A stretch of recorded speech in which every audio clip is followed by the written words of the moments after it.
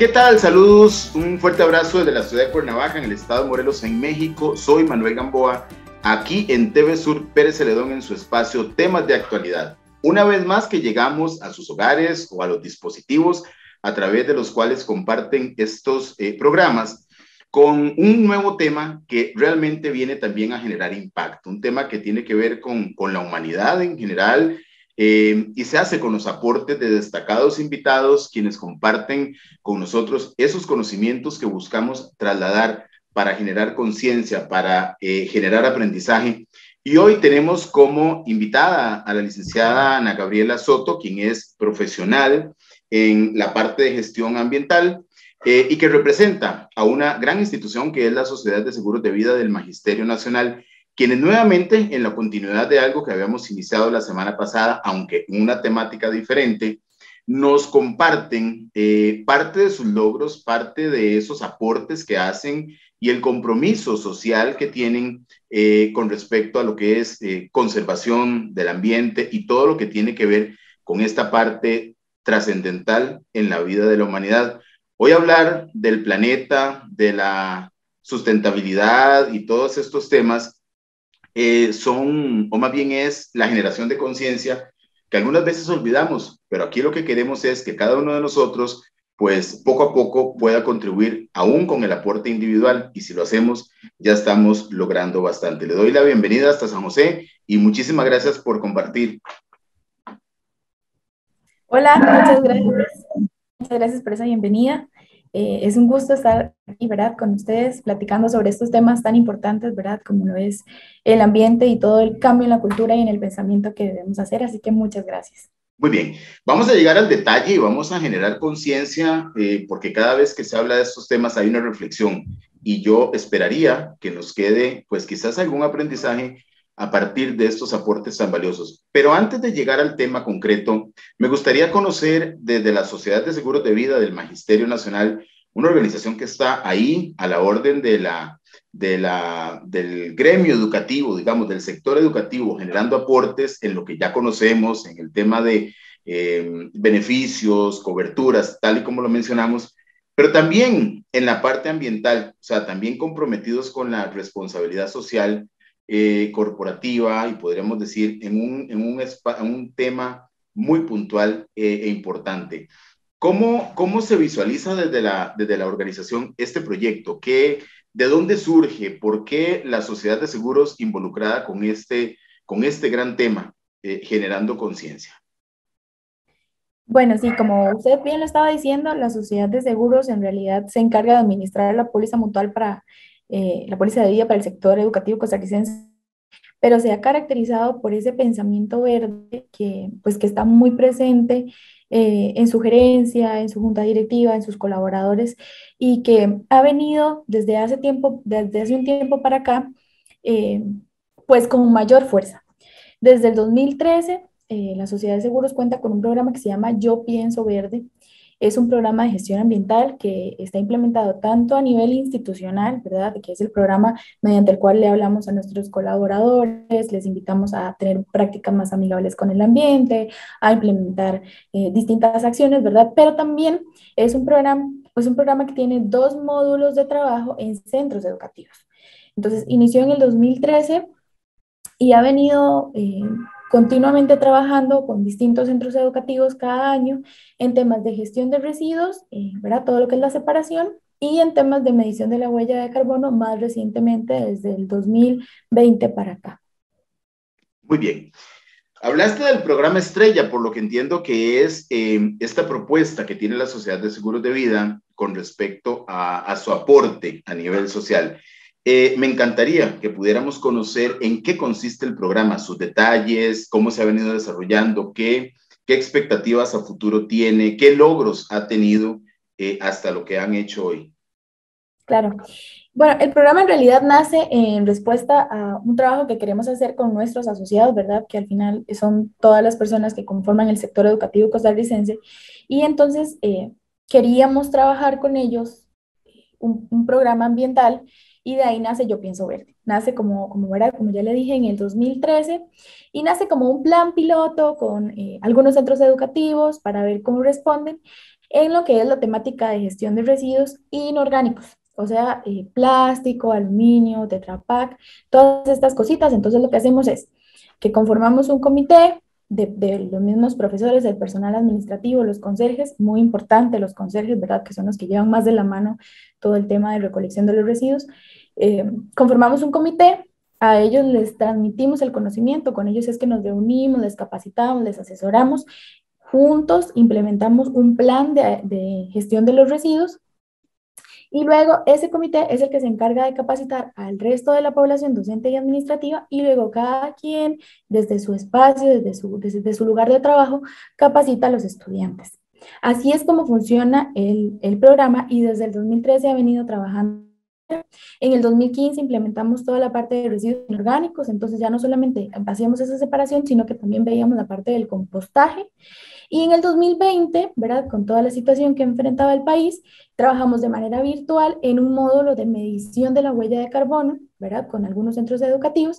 Y entonces lo que, lo que hicimos en el 2021 fue que ya lo, juntamos los dos como un solo programa, un curso que trabajamos eh, de manera dual, ¿verdad? Una parte eh, virtual y otra parte ya presencial, eh, meramente haciendo visitas a los centros educativos. Y con ellos, entonces, hemos implementado los dos módulos de trabajo, eh, la separación de residuos y la medición de la huella de carbono. Muy bien. Esto, en realidad, sí, adelante.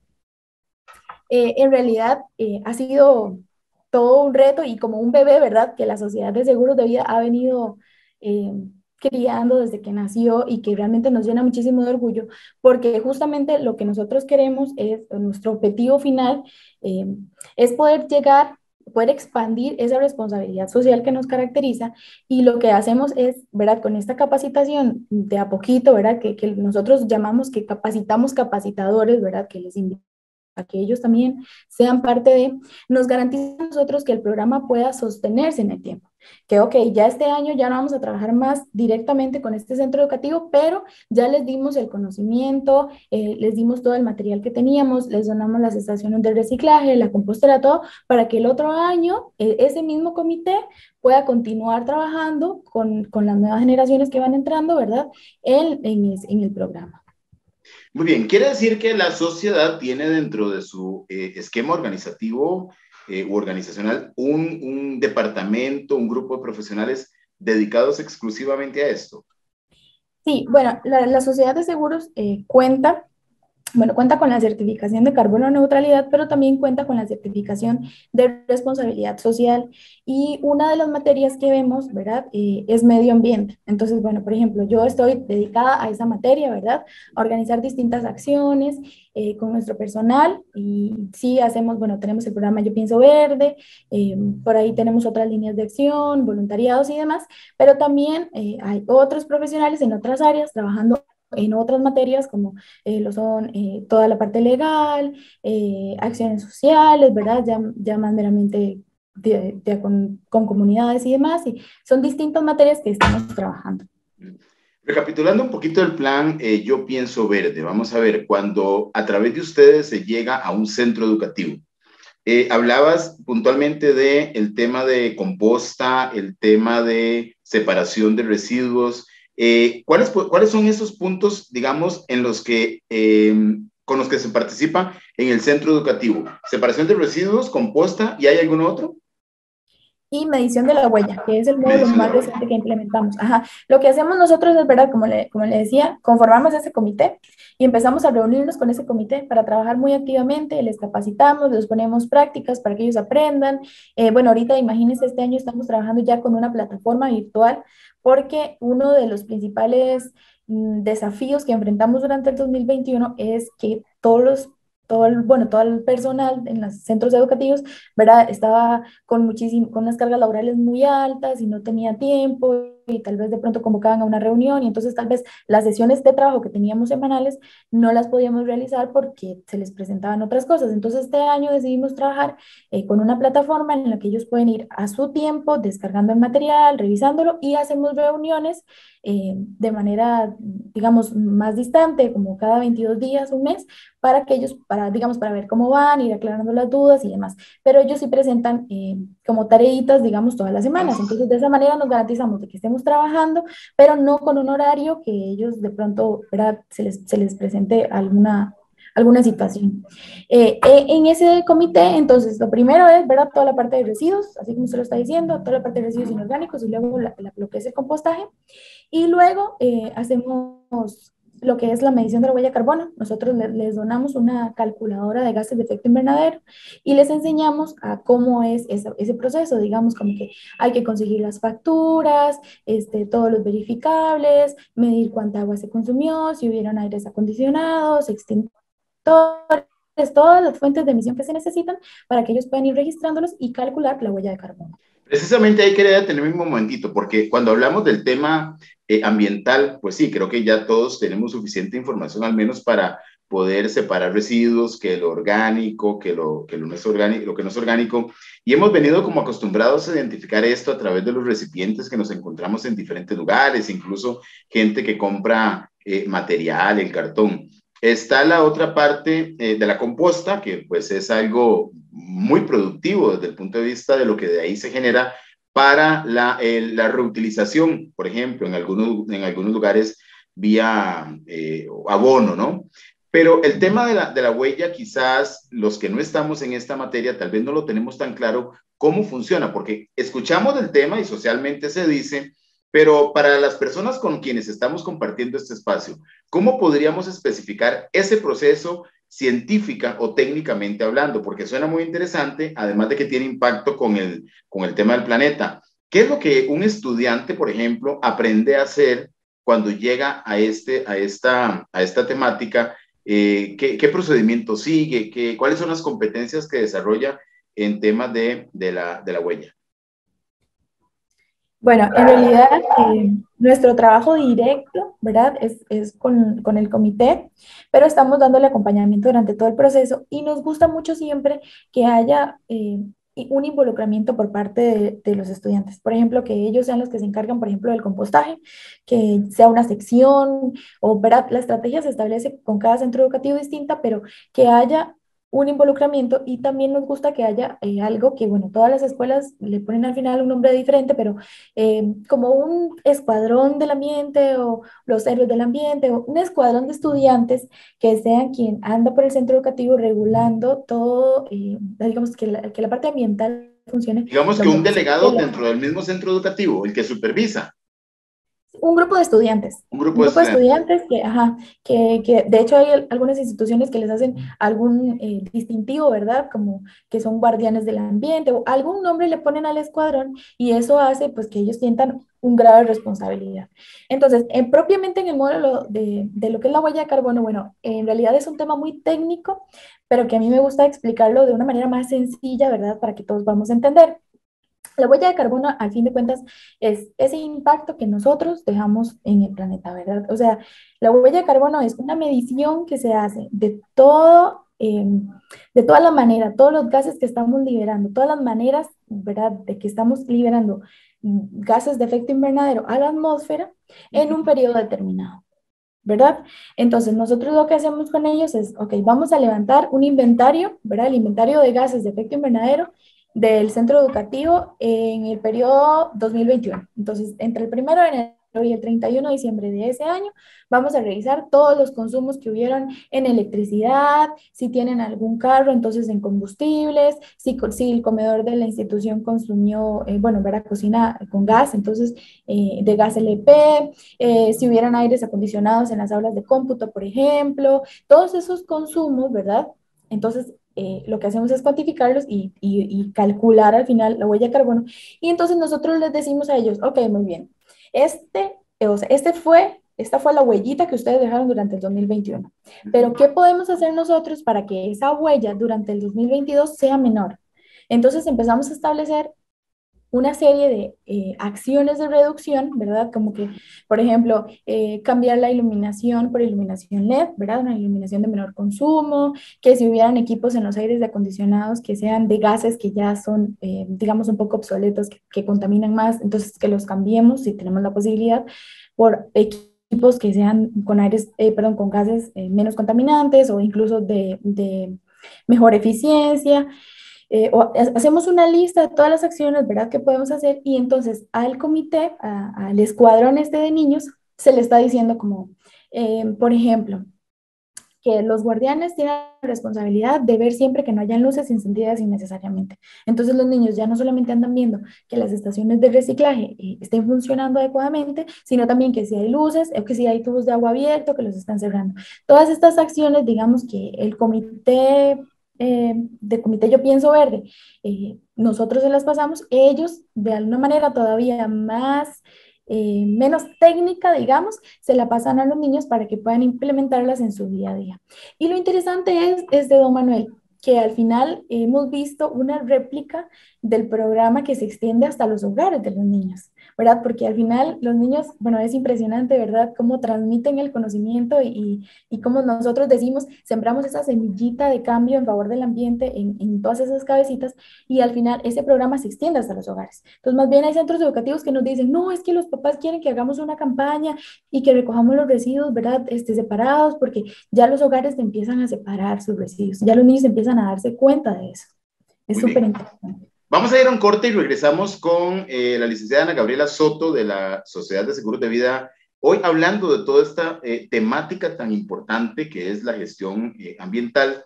dentro de esto, la propuesta que tienen, como yo pienso ver, de un plan estrella por parte de la organización y que está trascendiendo a centros educativos y ahorita según compartimos, a hogares donde se sigue generando conciencia, digamos que encadena esa, este, esa respuesta tan solidaria que tenemos todos con el planeta para seguir uniéndonos y proteger esta casa común. Ya regresamos y vamos a ampliar algunos de los temas que son muy interesantes y también compartir sobre otras propuestas, incluyendo el Día Mundial del Ambiente. En unos minutos regresamos.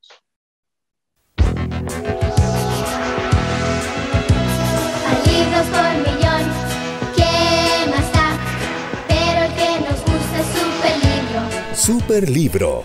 Revive con Luis, Anita y Tuercas las historias más impactantes de la Biblia desde el punto de vista de los niños. ¡Quiero jugar! Pero Anita... estuve esperando todo Pero hay algo que es muy importante.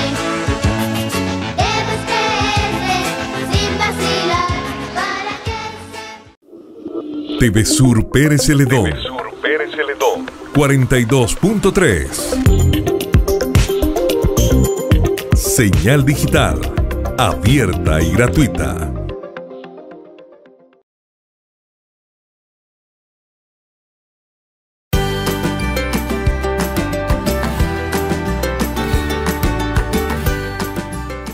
Gracias, estamos de vuelta aquí con eh, la licenciada Ana Gabriela Soto, quien gentilmente nos acompaña en representación de la Sociedad de Seguros de Vida del Magisterio Nacional. Eh, es interesante porque muchas veces conocemos a una empresa o a una corporación o a una organización por un, por un punto de servicio, pero muy interesante también conocer la otra versión que además de lo que ustedes ya tienen como propósito en su misión de empresa, eh, tienen una propuesta tan solidaria, tan humanista, tan necesaria para seguir en esa protección del ambiente en la que algunas veces entramos en conciencia, nos volvemos a salir, eh, entendemos que también todo este tema del reciclaje son procesos educativos de aprendizaje y de moldeamiento de hábitos, porque de un momento a otro puede ser que tengamos la intención o reciclamos y luego no, pero siempre es importante mantener este, este impacto de la conciencia que se genera y ustedes están apostando, me parece, a hacerlo muy bien, lo están llevando a los centros de formación donde van a ir creciendo y generar esta conciencia en los niños me parece que puede ser de gran alcance para eh, procesos posteriores. Eh, ahorita hablabas del tema de, la huella y, compartías muy bien, ejemplificabas muy bien eh, de cómo funciona. Es medición de lo que es consumo, por ejemplo, de, de gas, de electricidad, o sea, va más allá de un simple reciclaje para luego sacar, digamos, una totalización del consumo que una institución tuvo y eso le va a dar un indicador. Ahora, ¿cómo se mide en función del parámetro, de un estándar? ¿Hay algún indicador internacional que diga este es eh, el óptimo? Porque al final, digamos, no se podría estar completamente sin el aire acondicionado del aula de cómputo o sin el gas para la cocina. Pero, ¿cómo se mide en función de, de reconocer, por ejemplo, a un centro educativo que está generando un aporte dentro de lo que se considera aceptable, ¿Dónde podríamos identificar que se les fue la mano, que tienen que prestar atención al año que sigue, cada cuánto es prudente hacer las mediciones para darle la información a quienes pueden tomar eh, decisiones para corregir. Eh, bueno, vean, en realidad eso es muy variado porque, por supuesto, depende de cada centro educativo. En Costa Rica, eh, yo digo que tenemos una gran dicha y es contar con el programa País Carbono Neutralidad, ¿verdad?, de la Dirección de Cambio Climático, que es el ente que dice cómo tenemos que hacer esa medición, ¿verdad? Entonces, al final, este, digamos, lo que nosotros hacemos para calcular la huella de carbono es justamente que todos esos consumos, por medio de unos cálculos matemáticos, los traducimos a carbono. Entonces, digamos, puede ser muchísimos gases que liberamos, que este, gases refrigerantes, que CO2, que todos esos gases que liberamos al final los traducimos a términos de carbono, ¿verdad? Como decía el profe en la escuela, no podemos sumar papas con chayotes, todo tiene que ir en la misma unidad. Entonces, en, en, ese cálculo, ¿verdad? Entonces yo, yo, puedo decir, ok, yo estoy emitiendo eh, 160 toneladas de CO2, por decir un ejemplo, ¿verdad? Entonces, eh, lo que hacemos es eh, que yo misma, yo me comparo contra mí misma. El otro año yo lo que voy a buscar es la manera en la que yo pueda reducir para evitar generar menos, eh, menos emisiones. Entonces, digamos, si este año generé 160 emisiones, pero digamos, por decir algo, este, de esas toneladas eran solamente por consumo combustibles fósiles, por ejemplo. Entonces, yo voy a procurar en mi empresa poner un proyecto para que los conductores manejen de una forma más eficiente, para que de pronto podamos optar por comprar un carro que sea más amigable con el ambiente, eh, ¿verdad?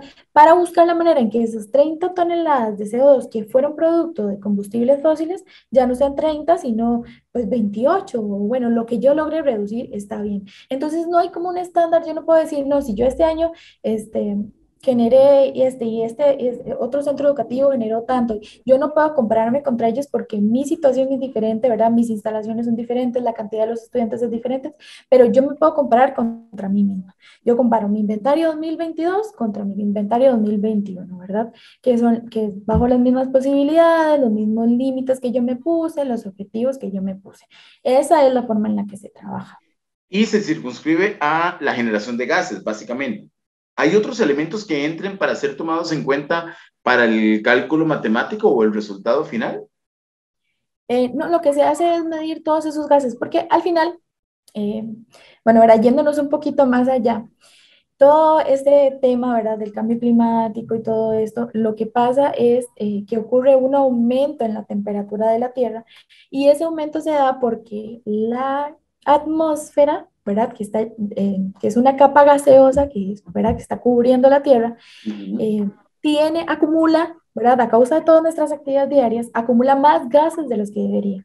Entonces, los rayos del sol que entran a la Tierra no pueden salir, ¿verdad? Por la capa tan gruesa de gases que hay y se quedan ahí rebotando y rebotando en la Tierra y provocando un aumento en la temperatura del globo. Ese aumento es lo que, ¿verdad? lo que conocemos como calentamiento global y que luego desencadena una serie de consecuencias como ¿verdad? estamos viviendo que olas de calor, sequías, inundaciones, tormentas, mm, bipolaridad en el, en el clima, digo yo, ¿verdad? Porque son unas cosas súper locas que estamos viviendo, este, pero eso al final es eh, lo que queremos contrarrestar, ¿verdad? Entonces, ese aumento en la temperatura es lo que nosotros tenemos que combatir con nuestras acciones, ¿verdad? Implementando prácticas y, acciones más amigables con el ambiente para combatir el impacto del cambio climático. Muy bien, te hacía la, la, consulta porque por lo menos en lo personal no conozco tanto de eso y estamos muy acostumbrados a escuchar eh, todo lo que decimos, el reciclaje, que si es plástico, que es vidrio, pero quizás por la terminología, aunque ya es un tema que tiene tiempo de estar por ahí, eh, tal vez muchas personas no lo asocian. O sea, si lo pudiéramos traducir a este tema de la emisión de gases, eh, se me venía ahora la idea y no sé si procede, pero creo que puede tener que ver, por ejemplo, con todos los, los aerosoles, desodorantes, todo lo que son estos insecticidas. O sea, de una u otra forma, eh, tenemos la posibilidad no solamente de reciclar, de, clasificar, de hacer la composta que es tan productiva para la misma, digamos, hasta para la producción en, la misma casa o en los centros de trabajo. Hay muchas empresas que se han comprometido en hacerla y, y, sacan grandes resultados. Incluso logré ver aquí en México eh, algo muy interesante en una universidad pública aquí en el estado de Morelos con una eh, lombriz que importan de California y es increíble, o sea, todo lo que ellos hacen ahí, y además es lindísimo ver el proceso. Creo que parte de este mensaje puede ser cuántas cosas eh, desechamos en los hogares que pueden ir a generar esa composta y generar también o producir em, abono y todo el, el, buen uso que se le da. Entonces ahí algunas veces no, no lo tenemos tan claro. Me, me pongo a reciclar, pero hacer el, digamos, el, el hoyo en el, en el patio y, y, hacerlo con su debida tapa es algo que también puede ser de conciencia social, pero además nos ayuda al tema de la basura, a la no acumulación, de residuos, que normalmente en los basureros además hasta pueden desprender olores eh, que no son los mejores. Entonces, entender esto para el tema de la composta creo que es un, es un buen mensaje. Pero me gustaba mucho el tema de, de, de la huella, porque es tal vez lo que no tenemos quizás de forma tan consciente y es saber que un aerosol tiene la posibilidad, a no ser de que los fabriquen, que sean orgánicos, asumo, o que ya sean en pro del ambiente. Ahora, decías algo muy interesante. Eh, esto se desprende de un plan muy noble que tiene la sociedad como parte de su compromiso o responsabilidad social, buscando eh, esa conciencia y esa eh, cercanía con el entorno. Nada más que ustedes se han salido del entorno donde están las oficinas principales y se han ido por todas partes. Eso es muy bueno eh, por la dinámica de la organización. Entonces, lo, han llevado, lo llevan a través de un comité. Ese comité, digamos que es el comité de formadores. Asumo que trabajan con educadores asignados en las escuelas, escuelas o colegios o ambos. Ambos, centros educativos. Y a partir de ahí se empieza a generar la, sensibilización. Qué interesante cuando decías que ya los mismos niños o muchachos, como actores importantes del proceso, se llevan el mensaje a su casa. Esto es muy valioso. Ahora, con, respecto a este plan tan interesante y tan valioso, ¿tienen alguna medición ya hecha, por ejemplo, cuántas escuelas, eh, a cuántas escuelas eh, tienen alcance, cuánto tiempo, ya hablaste un poquito de los años, pero cuántas escuelas, qué se ha generado. ¿Hay alguna forma en que ustedes hayan podido medir resultados y que ojalá sean satisfactorios? Sí, claro, ya de hecho le iba a hablar justamente de eso. Em, bueno, del 2013 a ahorita, eh, digamos ahorita sin contar el 2022, ¿verdad? Que apenas estamos... Del 2013, perdón, hasta ahora, o sea, ya llevan largo tiempo en esto. Sí, ya el otro año cumplimos 10 años. Ajá, del 2013. Medallas.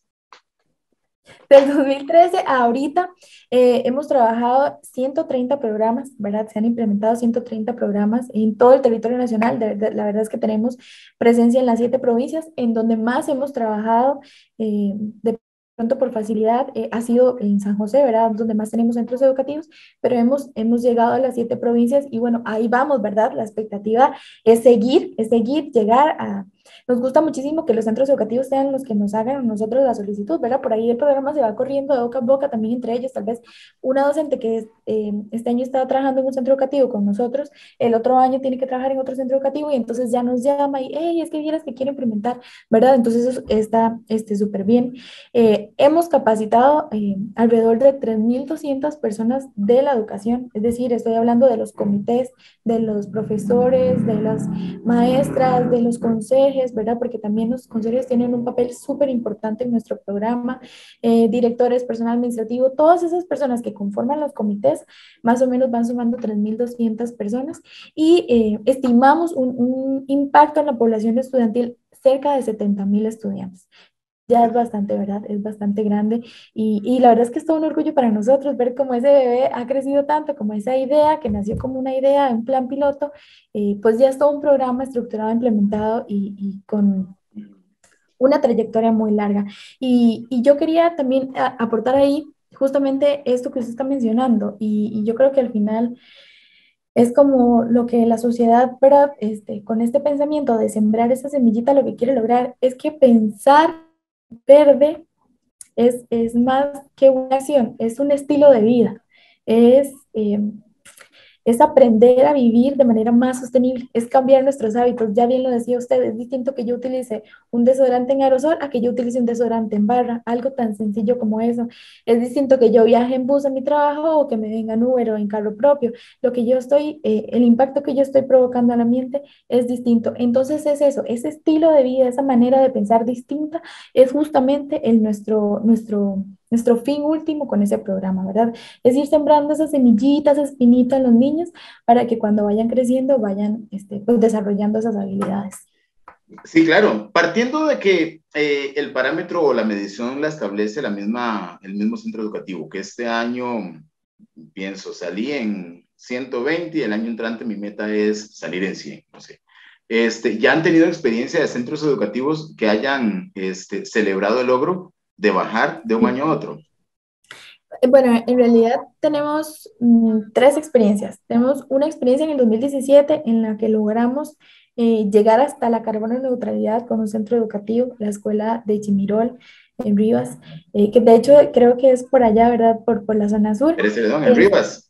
Sí, con ellos en el 2017 alcanzamos la carbono neutralidad, fue un esfuerzo en común, eh, fue súper bonito, ¿verdad? Trabajar porque en la escuela y muchas partes eh, interesadas, ¿verdad? Celebrando eso, eh, que de hecho es el primer centro educativo en el tener ese reconocimiento.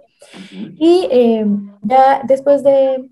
después del 2020 que empezamos a trabajar con los centros educativos en este módulo de, de carbono inventario, eh, estamos a punto de obtener el reconocimiento carbono inventario para otros dos centros educativos, el Colegio Técnico Profesional de Carrizal, que en realidad es, es todo un ejemplo. Ese colegio eh, tiene un sistema ambiental buenísimo, ¿verdad? Que, que ha agarrado el bebé que nosotros le dimos y también lo han hecho crecer un montón.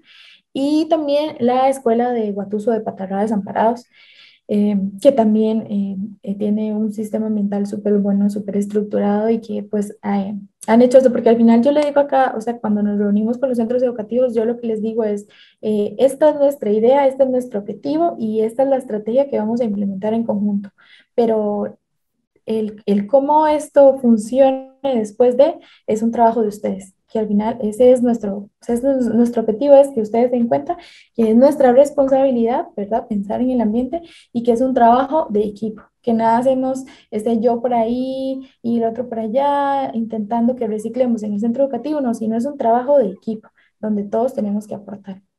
¿Cuál ha sido la experiencia con colaboradores? Asumo que lo están divulgando también a lo interno de la sociedad.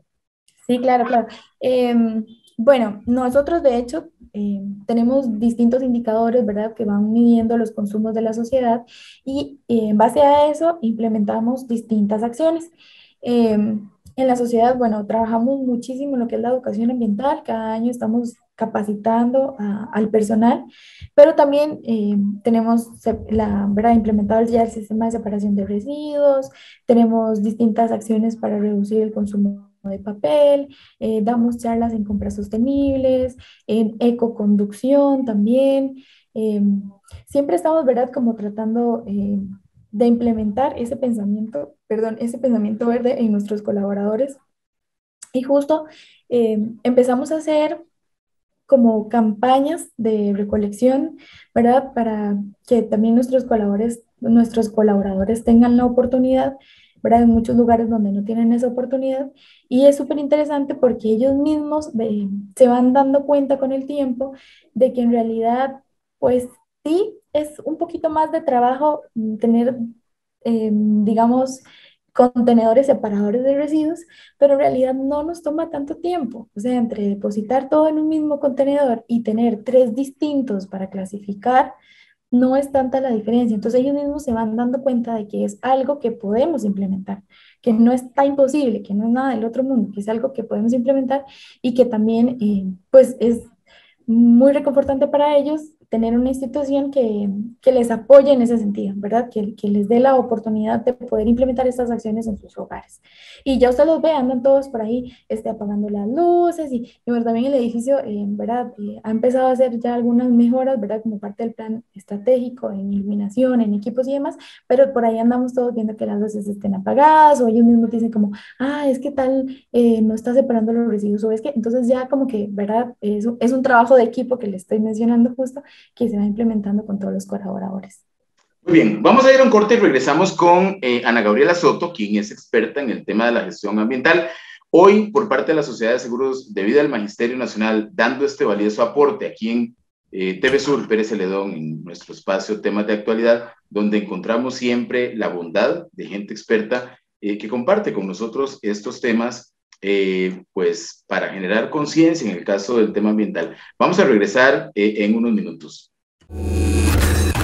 Políticos, deportistas, artistas, gente de las más variadas esferas son quienes les cuentan historias de su vida en la serie de programas Entrevista. Con los periodistas de la cadena RT conocerán a importantes personajes, creadores de las noticias de la actualidad.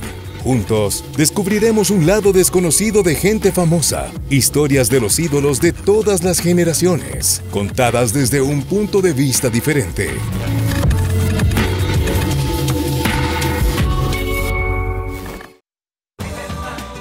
Vive más. Conecta a la audiencia con las motivaciones más profundas de sus invitados, sus triunfos, desafíos y luchas por alcanzar sus sueños.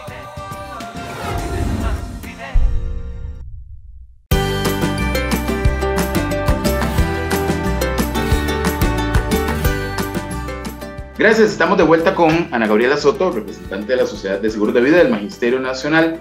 Eh, abordando este tema tan interesante que, por ejemplo, en lo personal, con solamente estar conversando sobre esto, me genera algunas reflexiones en cuanto a hábitos, porque lo que hablabas es un tema como de incorporar hábitos, qué puedo hacer yo, es la conciencia incluso cuando estoy, por ejemplo, solo y voy a salir de una habitación, es la decisión que tengo de pensar que mi decisión, aunque sea eh, una, que sea nada más de devolverme cinco segundos a apagar una luz, estoy sumando a la protección del planeta donde todos estamos y donde además ya las afectaciones son serias. Por un lado, nos cuesta a veces hacer conciencia, pero por otro lado nos asombramos cuando vemos ya todo lo que podría estar asociado a desastres naturales en el tema del cambio climático y otras consecuencias de esto que estamos haciendo. Y seguimos eh, viendo, y por eso es muy importante, me parece, lo que están haciendo en cuanto a, a trabajar con la población escolar. Sigue siendo un tema de hábitos vemos por un lado la gente que, que sufre las, las inclemencias del tiempo y por otro lado vemos un, un, río todavía con lavadoras y colchones y muchas cosas que, que se lanzan ahí sin darnos cuenta que estamos directamente afectando el ambiente. Este es un tema como de conciencia humana, donde a veces los seres humanos demostramos mucha inteligencia en algunas áreas, pero en otras que son tan, tan básicas, tan sensibles para el bien común, pues no, no marcamos la pauta. Y todo esto me parece que contribuye muy bien a, a, esa gran propuesta de sumar esfuerzos, donde no nos podemos quedar con lo que si otro no lo hace, pero es mi responsabilidad darme cuenta con respecto a qué debo hacer y qué no, no debo hacer. Eh, una pregunta, con este, un programa de estos de 10 años y con tanto alcance, llegando a una población de 70 mil estudiantes promedio, ¿no? En lo que han, en lo que han acumulado. Correcto. Y que tiene un propósito tan noble, pues es parte, digamos que no solo no, es lo normal, sería quizás la, la obligación que tienen las, las organizaciones de hacer una devolución al ambiente de diferentes formas. Hoy la responsabilidad social se habla a lo externo, también a lo interno. Las organizaciones deben vigilar por el bienestar de los colaboradores que producen sus resultados. Incluso las propuestas muy modernas de responsabilidad social van a, a buscar y a tocar un poco la, los familiares de las personas que ahí trabajan, porque hay muchas formas de hacer responsabilidad social. La externa o la que, la que conocemos, digamos, en el caso de, de esa relación con el ambiente y que lleva a una organización tan importante como ustedes a tocar 70 mil personas, a tener un programa, ya el programa es sostenible, ya ustedes marcaron, si hablamos de huella, ya la marcaron, o sea, ya 10 años en una gestión permanente, ya la contribución es, es mucha, o sea, ya el planeta tiene algo que ustedes han provocado y yo creo que eso merece el reconocimiento y la gratitud de todos, porque esto no es un tema solamente de una empresa, lo que ustedes hacen, pues como responsabilidad nos afecta a todos. Un tema como este tan importante, con una población tan, tan grande en, en, el mercado al que se dirigen, si lo pudiéramos decir así, tiene el aval, el, el apoyo de alguna organización adicional de estas ONGs que se unen en función de apoyar estrategias para conservación del planeta? ¿Tienen el apoyo del Ministerio de Educación Pública? que qué mejor podría ser? Eh, o sea, al final no sé quién, pero aunque también pues ustedes tendrán sus, sus recursos para hacerlo, ¿hay gente que se les ha sumado o han encontrado apoyo de otras organizaciones? Eh, bueno, primero tengo que decirle gracias por ese reconocimiento porque de hoy es súper bonito sentir que estamos impactando, de verdad, eh, es demasiado gratificante.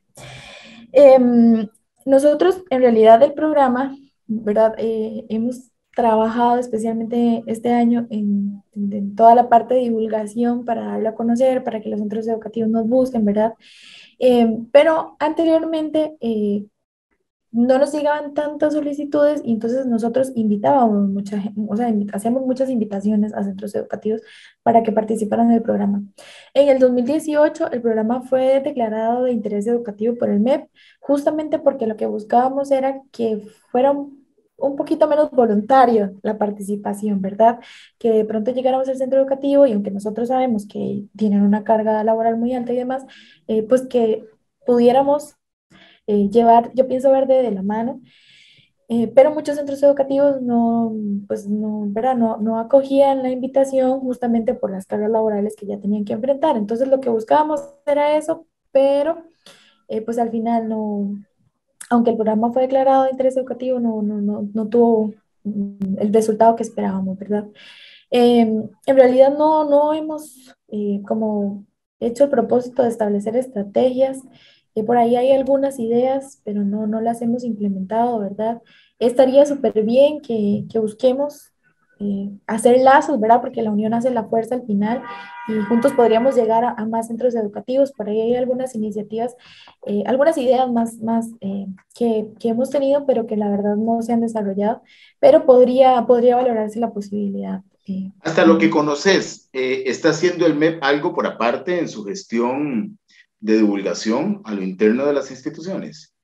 Pues yo sé que la mayoría tienen la obligación, creo, eh, como de implementar el programa Bandera Azul Ecológica. Lo que pasa es que muchos, o sea, muchos, porque entiendo que ellos tienen que conformar un comité de Bandera Azul Ecológica, pero muchos no saben cómo se hace eso. De hecho, eh, nos han pedido colaboración también para trabajar un poco ese programa, que bueno, yo realmente no, no, nunca lo he implementado, digamos, lo conozco, pero nunca, nunca me he enfrentado con él así, ¿verdad?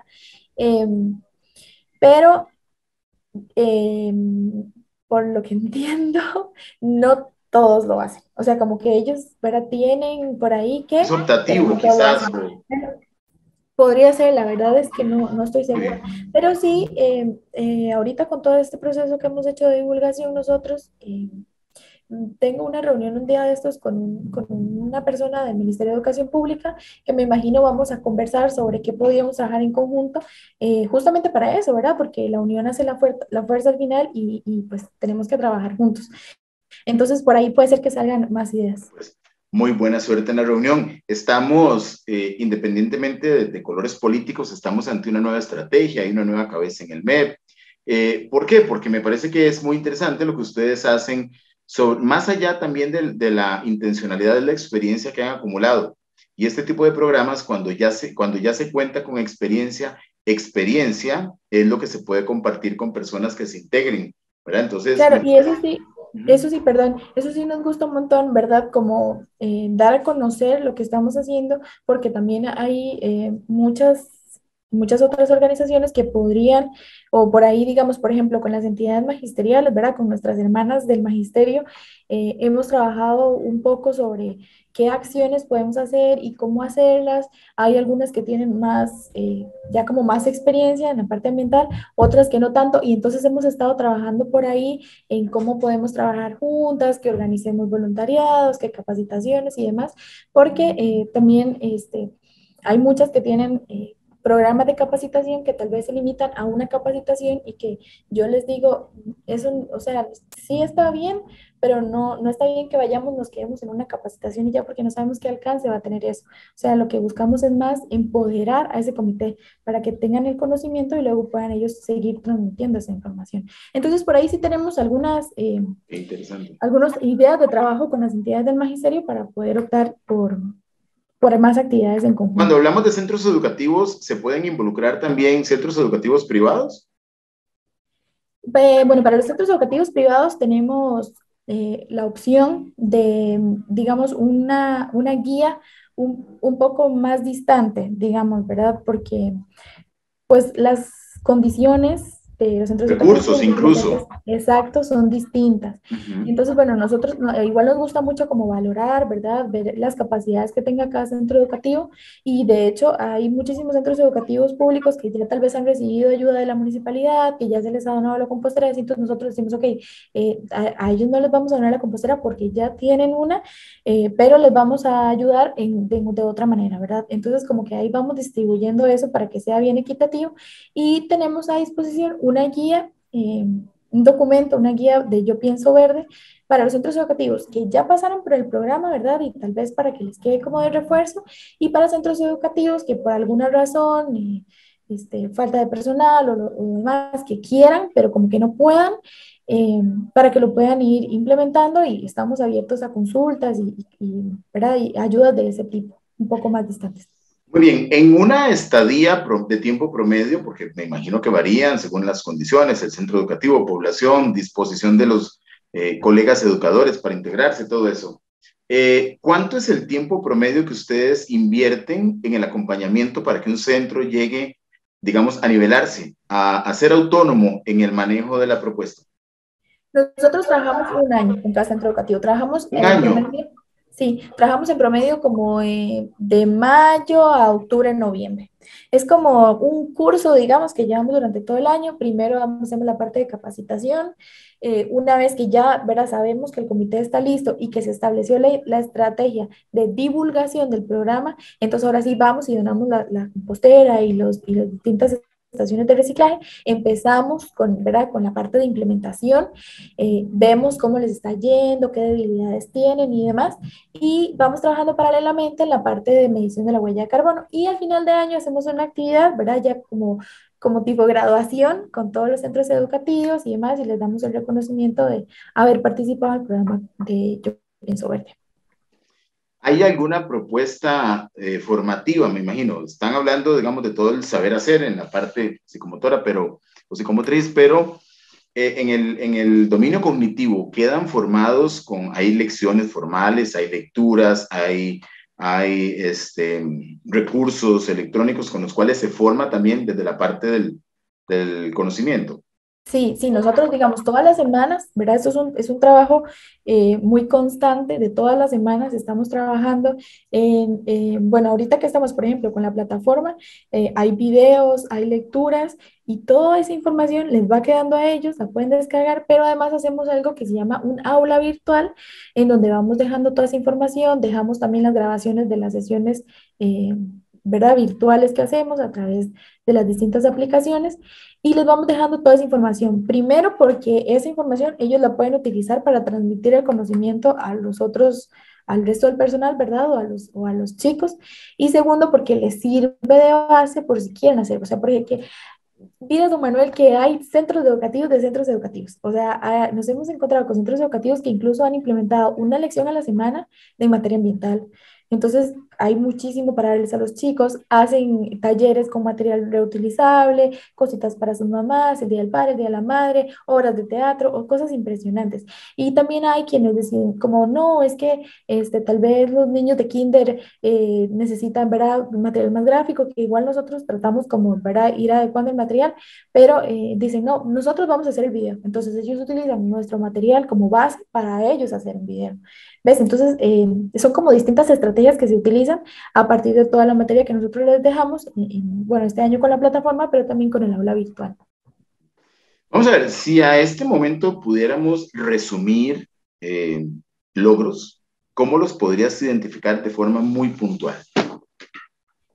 Bueno, yo eh, aparte de los números, ¿verdad? del alcance que ha tenido el programa, primero, eh, en la parte ambiental, la gestión de los residuos, todos esos residuos que hemos evitado que vayan a un relleno sanitario, ese es un gran logro, de eso lamentablemente no tenemos, eh, ¿verdad? Como, como métricas, porque no todos los centros educativos cuentan con la posibilidad de pesar sus residuos. Segundo, el hecho de capacitar capacitadores. Para mí eso es, ¿verdad? Como lo que garantiza esa expansión del programa a, los hogares, a los profesores, a, las familias. Em, tercero, el hecho de, de, formar, de sembrar esa semillita de cambio en los niños, ¿verdad? Porque al final ellos son los que se llevan eh, como esa semillita, la siembran, ¿verdad? Como son, esos pajaritos que van y llevan esa semillita por todas partes y dejan esa huellita y son los que van hacia adelante, ¿verdad? Eh, entonces eso es súper importante. Y también eh, el apoyo que les damos en otras, en otras temáticas, como por ejemplo el programa Bandera Azul Ecológica, que les ayudamos toda la parte de medición de la huella de carbono, les sirve a ellos para poder completar el informe de bandera azul o, por ejemplo, cuando tienen huertas escolares, entonces este, también la generación de abono orgánico a partir del compostaje les funciona a ellos a veces para sus huertas orgánicas o incluso hay quienes han sabido aprovechar y vender ese abono orgánico y eso genera un insumo para la institución. Entonces, ves todas esas... Eh, eh, posibilidades que tienen los centros educativos, ¿verdad? De crecer en distintas eh, formas, son las que las que hacen que el programa sea todavía más, más rico. Ese, eh, lo que sería generar ingresos a partir de la venta de abono orgánico para la institución. Correcto. la motivación de saber que los ingresos vienen de un proceso que ellos mismos han, este, en el que han trabajado y eso pues es muy gratificante. Vamos a ir a un corte y regresamos con este último segmento aquí en TV Sur, Pérez Celedón. En este espacio, temas de actualidad con la licenciada Ana Gabriela Soto, quien es especialista profesional en la gestión eh, ambiental para abordar dos puntos ya en, en los últimos minutos eh, que sé que van a ser de gran interés y sobre todo con la celebración próxima del Día Mundial del, del Ambiente. Ya regresamos. TV Sur Pérez Celedón. TV Sur Pérez Celedón. 42.3. Señal digital. Abierta y gratuita.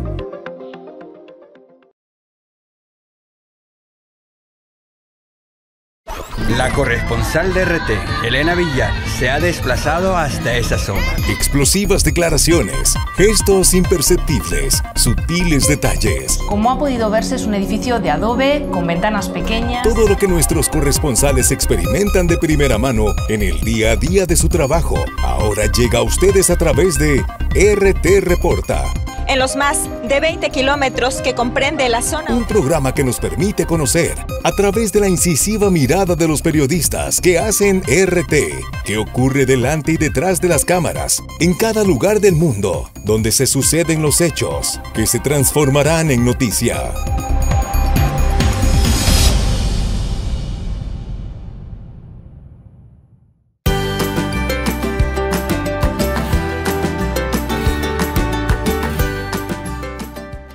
Gracias, estamos de vuelta aquí en el último segmento de este espacio, temas de actualidad. Hoy. Nos vamos al tema ambiental con una destacada profesional, quien representa a la Sociedad de Seguros de Vida del Magisterio Nacional y comparte eh, algo de lo que creo que pues muchas empresas podrían estar haciendo también, porque la gestión empresarial abarca no solamente la generación de resultados en la estrategia que tenga la, cualquier organización, sino es la devolución, es el matrimonio con el con el entorno, es el retorno a, ese espacio que es el espacio común donde convivimos todos. Y pues este es un ejemplo claro de una responsabilidad social muy marcada, muy clara, con un gran alcance, un proyecto de 10 años, con 70 mil personas a quienes se les ha llegado, pero además con una propuesta muy noble. Están llegando a la población eh, eh, en el sector educativo de primaria y secundaria, y creo que llegar ahí es una gran inversión porque se genera conciencia para para cuando sean grandes, que es lo que a muchos, siendo adultos, nos ha costado cambiar en temas de hábitos para proteger el ambiente.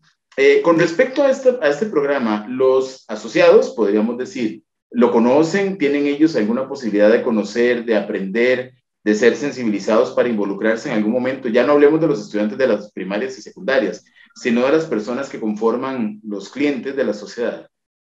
Sí, claro. Bueno, nosotros hacemos muchísima divulgación del programa en nuestras redes, tanto en Facebook como en Instagram, en la página de la sociedad también. Y también eh, hemos dado a conocer el programa por medio de correo electrónico. Entonces les enviamos correos electrónicos a nuestros asociados en donde pueden conocer del programa. eh, pueden incluso, recientemente grabamos un podcast del programa, entonces también en el correo los dirigimos para que vayan a, escuchar el podcast. Em, Hemos hecho muchísima divulgación porque nos interesa justamente eso, lograr que luego nos puedan ver. A inicio de este año incluso hicimos eh, divulgación en medios, estuvimos en, en Canal 7, en Canal 6, em, en, en varios medios de comunicación eh, ¿verdad? Contando sobre el programa. Y, y, bueno, todos estos espacios nos permiten a nosotros también llegar a más, a, a más asociados, ¿verdad? Que por ahí tal vez nos están viendo o escuchando eh, y que, son, que nos les permiten conocer a, a, conocernos, conocer sobre lo que nosotros hacemos y poder hacernos la solicitud a través del correo, eh, del correo Yo Pienso Verde. Eh, yo Pienso Verde es el correo. Sí, yo pienso verde arroba sociedaddesegurodesdevida.cr. Ese es el correo al que pueden hacer las solicitudes o las consultas o lo que quieran este, conocer acerca del programa. Así que de verdad que les agradecemos muchísimo por, por estos espacios que nos brindan. Y bueno, también las gracias a usted, don Manuel, ¿verdad? Por, ¿verdad? por todo esto. Eh, todo este no, de lo que se trata de sumar. Vamos a ver, esto no es un tema de una empresa o de otra. Creo que lo que hay que hacer es generar conciencia, es entender que esto es de todos y que es la casa en común, porque a veces los seres humanos andamos buscando tapar la gotera en la casa en que vivimos para protegernos, pero no nos damos cuenta que en la que realmente podríamos también buscar estar bien todos, porque es un tema del bien social y del bien común, es el planeta. Y entramos hasta en egoísmos, estando yo bien, no me importa lo que pasa, lo que pasa es que lo, lo que pase sí nos afecta a todos. Esa es la, la gran diferencia y ahí es donde tenemos que, que pensar un poco. O sea, yo creo que nunca es tarde y como usted lo decía, el esfuerzo individual, lo que un niño hace, apagar la luz, cerrar una llave del agua, está dándole agua a, una, a un futuro ciudadano en algún lugar del planeta para que este tema tan este, controversial o más bien eh, que se ha mencionado tanto de lo que va a ser el agua en el futuro,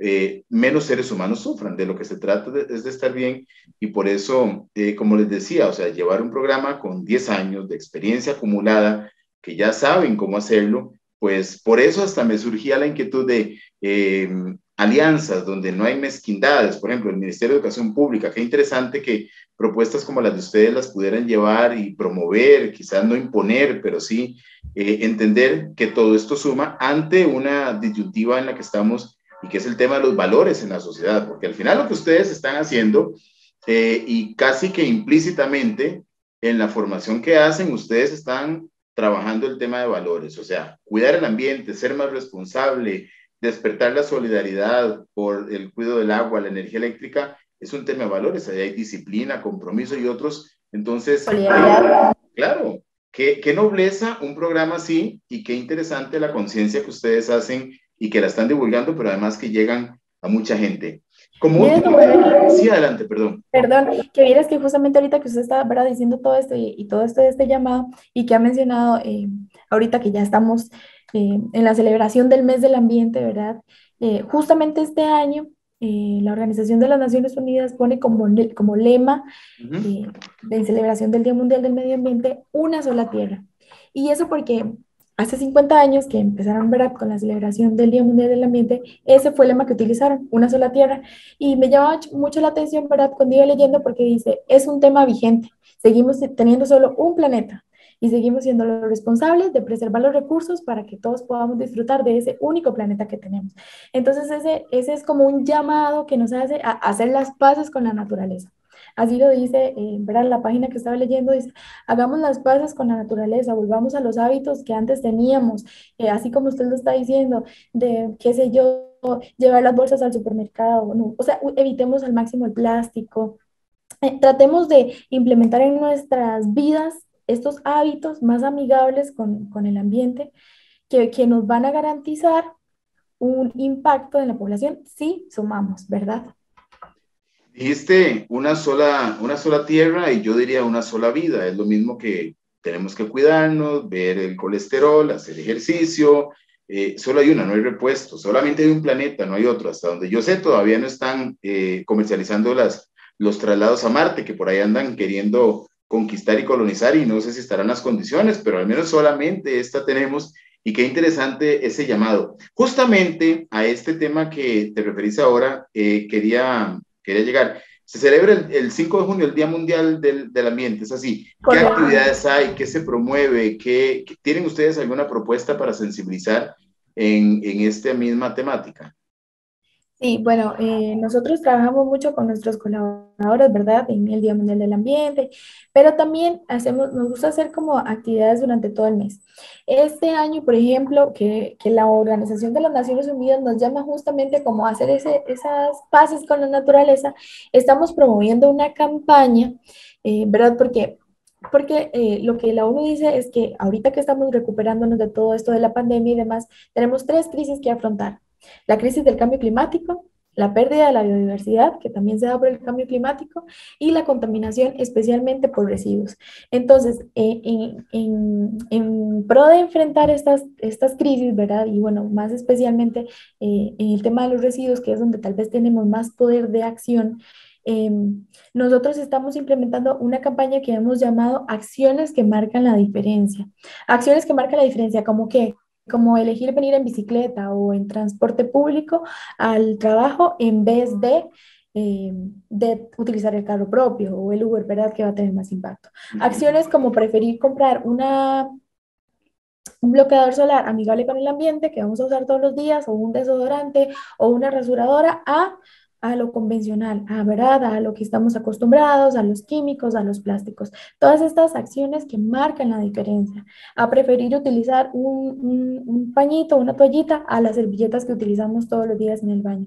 Esta es la campaña que hemos querido implementar este año con nuestros colaboradores y bueno, que estamos por iniciar justamente eh, para que justamente empecemos a preferir materiales cuya vida útil sea mayor o sus materiales de fabricación sean más amigables con el ambiente para evitar la generación de residuos, porque al final todo este problema que tenemos en el océano y que tanto plástico y los ríos y toda esta contaminación, que hay muchísimas organizaciones que ya están trabajando en eh, yo les decía en las capacitaciones que hemos tenido esta semana, yo les decía, están súper bien, esas soluciones están súper bien, pero son soluciones paliativas y lo que nosotros necesitamos es atacar el problema de raíz. Y para atacar el problema de raíz, por más, por más iniciativas que tengan aquí las empresas, las empresas productoras de plástico, que, iniciativas que tenga el gobierno, por más iniciativas que tengan todos, este, si nosotros no aportamos desde nuestro hogar la separación en la fuente de residuos, por ejemplo, es indispensable para que, esas iniciativas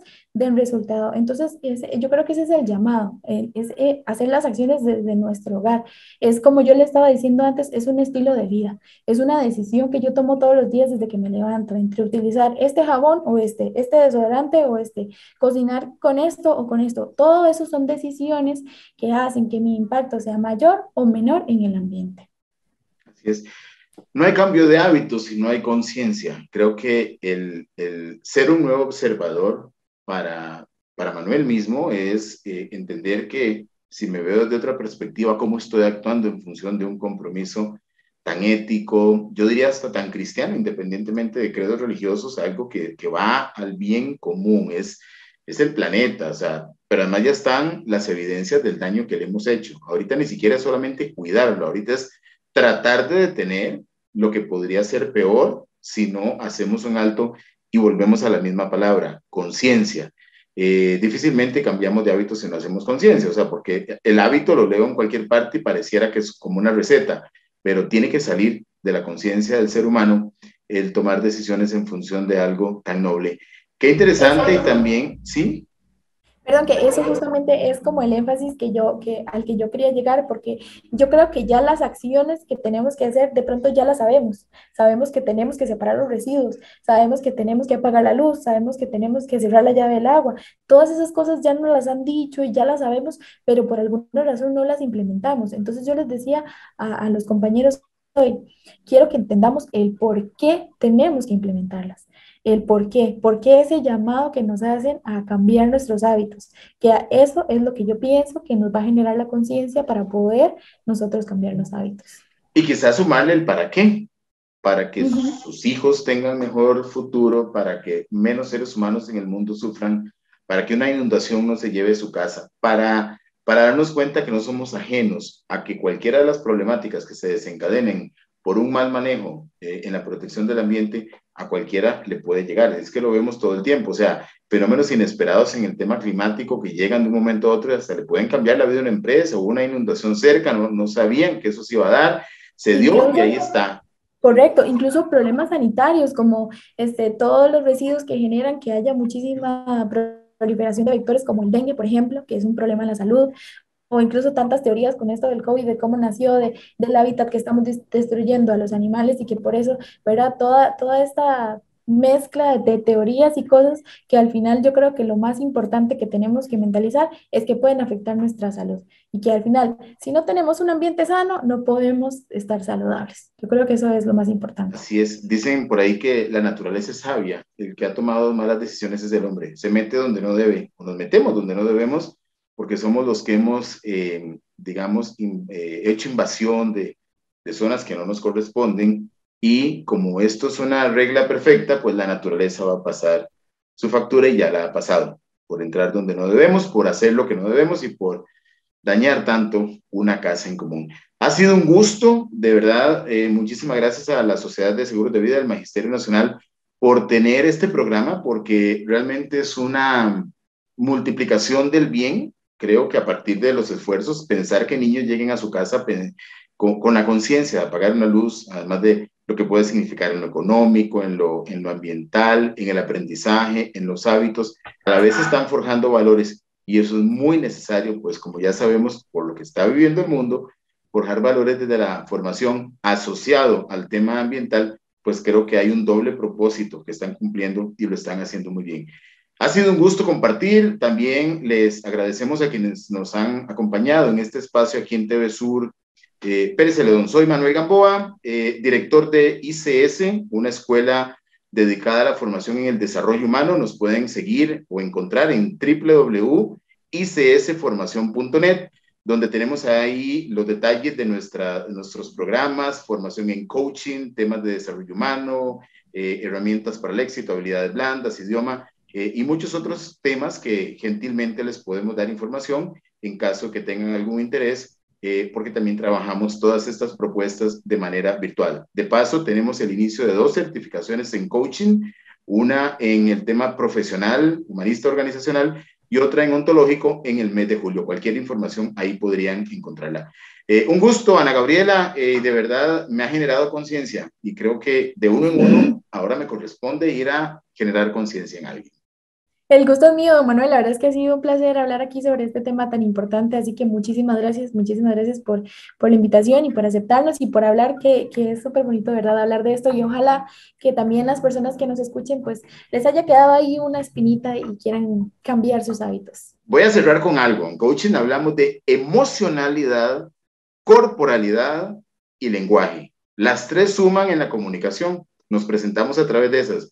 Y si yo tuviera que traer eh, una persona que haga el modelaje de una perfecta eh, alineación entre comunicación, eh, corporalidad y lenguaje, pues traigo a Ana Gabriela. Está viviendo con el alma en lo que ella cree y en lo que hace. Por supuesto que sé que su trabajo le da felicidad nada más, pero además de eso, este, la, la, veo totalmente identificada. Sería la modelo estrella para ejemplificar emocionalidad, corporalidad y lenguaje. Así que se nota, eso no, eso no se impone, eso surge del alma cuando hacemos lo que nos gusta y sobre todo cuando veo a alguien tan comprometido en una causa en la que cree con firmeza, porque lo dice la trilogía de esos tres aspectos que acabo de mencionar. Ah, Gusto y muchas gracias a las personas que han estado con nosotros y nos vemos, eh, Dios mediante, con otro espacio de temas de actualidad la próxima semana.